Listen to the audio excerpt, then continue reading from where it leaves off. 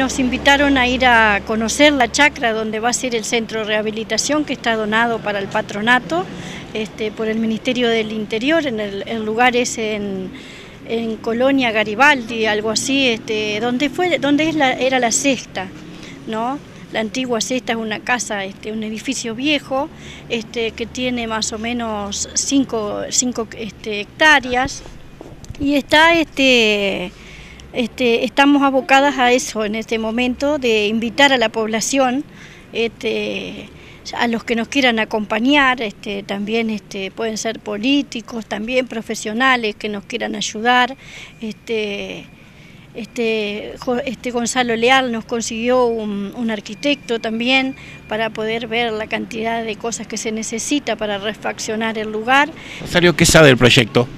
Es un proyecto para un centro de rehabilitación para jóvenes, adolescentes y mayores este, que estén en situación de adicción, este, este, donde va a ser este, un lugar, este, también van a haber clases ambulatorias, pero van a poder quedarse ahí también, ¿no? Este, y en ese lugar este, van a tener este, este, equinoterapia, este, van a tener psicólogos, médicos, todo lo que se necesita para una recuperación. ¿no? Esta ACE, este, que este, ya, está aprobado ese proyecto este, y tiene también aprobado para tener un médico 24 horas, psiquiatra, psicólogos, todo lo que se necesita. ¿no?